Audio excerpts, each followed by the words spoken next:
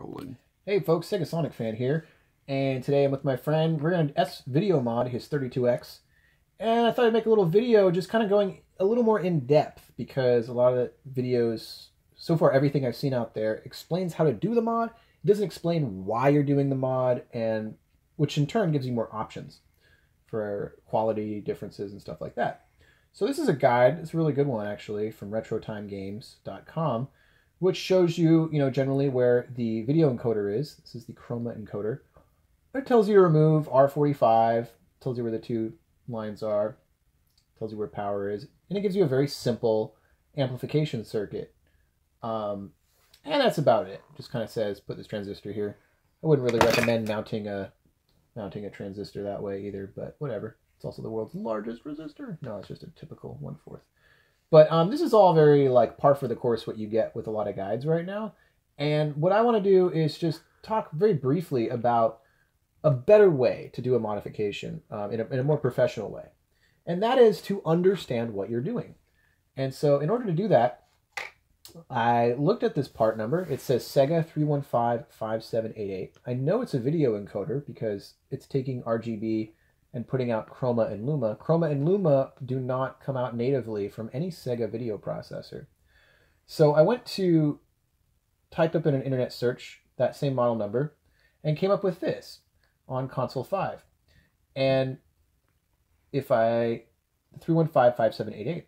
Well, it turns out this is a ROHM chip. ROHM is the company, and it's actually a BA7237FS. Now, when I looked that up, I couldn't come up with anything, and, you know, it's probably because it's a however 20 plus years old chip and information just isn't online. However, there is this uh, diagram, most likely from the Sega Service Manual, that gives us a nice internal block diagram, is what it's called, explaining the functions of the chip. And so you can understand in more detail exactly what we're doing.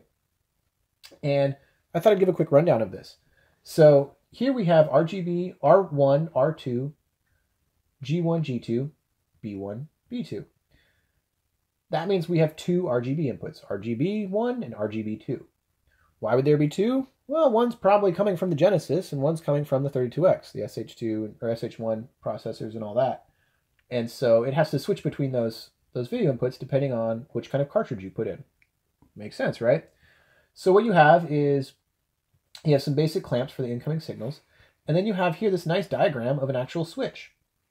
And that switch with this YS with an arrow pointing right there means that that's controlled from the YS pin. So that's your logic pin. That's connected to the logic gate that tells it, okay, switch to this RGB signal, no switch to this one. So after that, it goes to this matrix here, and then you see these three triangles. Well, those are amplifying. Those are amplifiers, you know, op-amp symbols. Um, or I guess they could be inverters, depending on how, what, what kind of information they're running off of for the block diagram. But most likely, these, these are actually meant to be amplifiers. And so the reason why is you have your your outputs here your R out, your B out. I guess G out is. I don't see it. It's got to be here somewhere.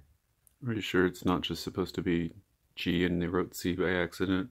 Very possible. Yeah, I think you're right. Yeah, because I think in the other data sheet I saw it says G.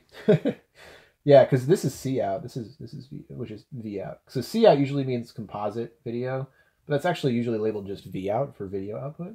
So yeah, I think you're right. These are actually RGB. Um, and so, how is it making composite video? Well, there's a bunch of stuff that happens. You have um, this VCXO, which has to do with the input signals from the crystal oscillator, and a phase generation circuit. And then you have your chroma generation, which is your color generation. And then you have your sync, your synchronization mixing circuit. And this stuff can get really complicated. I'm not an expert on all those different stages and how they work, but you get the general gist of it. Um, and so what happens is you your chroma generator here, yeah, here's actually C out, so that's definitely G out. So this actually creates a color output, chrominance. That's only color. That's it, just color information.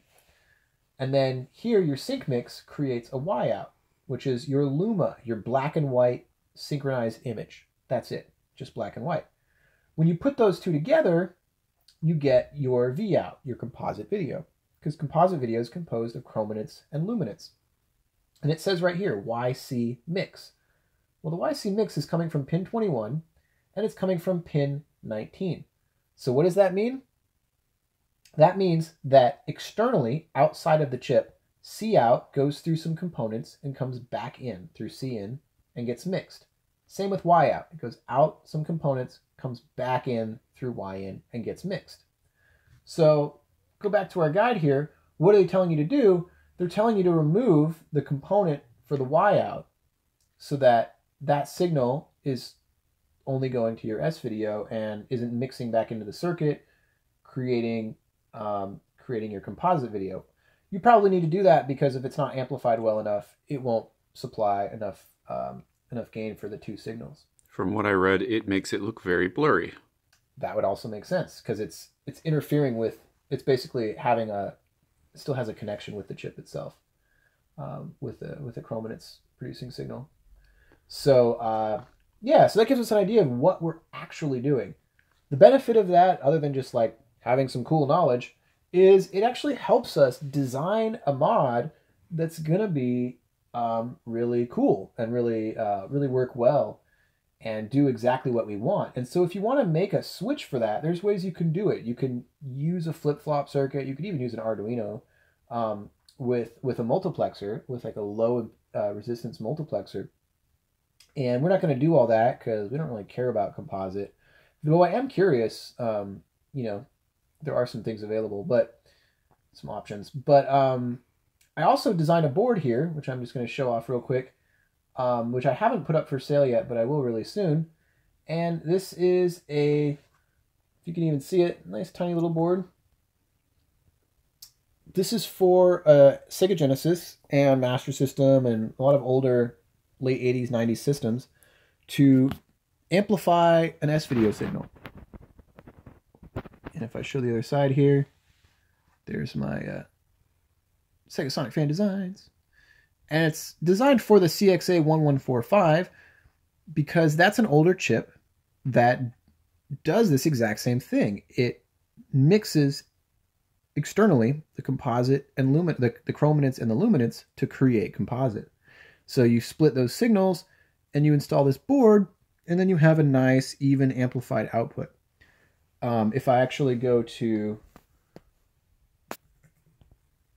I'll just show you actually really quick what the results look like because I actually have them online. I have a Flickr account. If you just search Flickr and Sega Sonic Fan, Sega Sonic Fan Designs. That is my website, segasonicfan.wixsite.com slash retro, if you want to go to the actual website.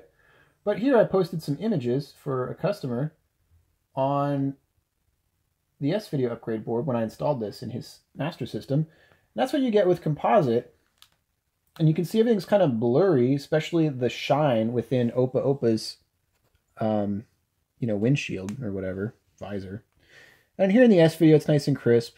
You know, it's a lot more crisp. If it was RGB, it would be perfect. But as it's S-Video, you get you can actually see the clarity, especially the yellow, uh, the vertical yellow stripe. And you can make out more and more that it's Opa.